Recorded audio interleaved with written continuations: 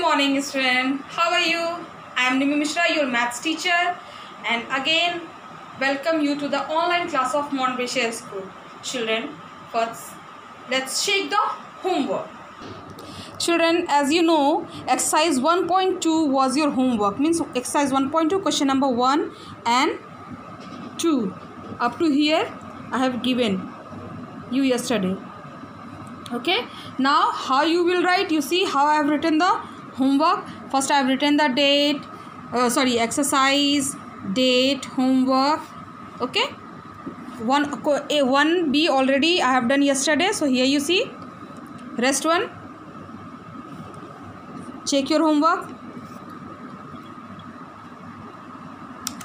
See here i have written in numeral and here I have written in words question number D here you see question number D is 0 4 5 0 so means in thousand place 1 you will write 4 place uh, 100 place 4 tens place 5 and ones place 0 so here I have written the number and here I have written the number name okay? Now 2b 2b question is write the numeral of each of the following. Means you have to write the according to the place. Thousand hundred tens ones one already done. Now b. 2b like this you write your answer. C d e. Up to here you check your homework. Okay? Now today i will teach question number 3 4 5 okay? In question number 3 fill in the boxes with the missing digit. Means you have to write the digit according to their place.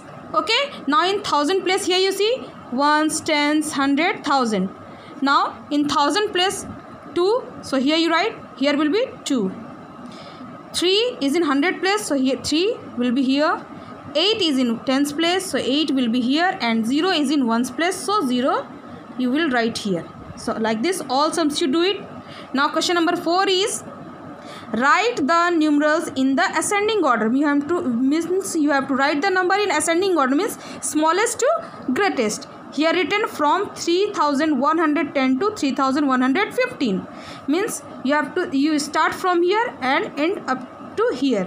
Now 3110 3111 3112 3113 3114 3115 like this you do it both the sums. Okay? Now question number 5 is write the smallest two digit number. As you know the smallest two digit number is already I have taught in the previous class the smallest two digit number is 10 okay? Smallest three digit number is 100 and smallest four digit number is 1000 so children your homework is do exercise 2.1 1.2 question number 3 4 5 you note it down your homework. Your homework is do exercise 1.2 question number 3 4 5 okay children. See you in my next video. This this is your homework. Okay? Now see you in my next video. Thank you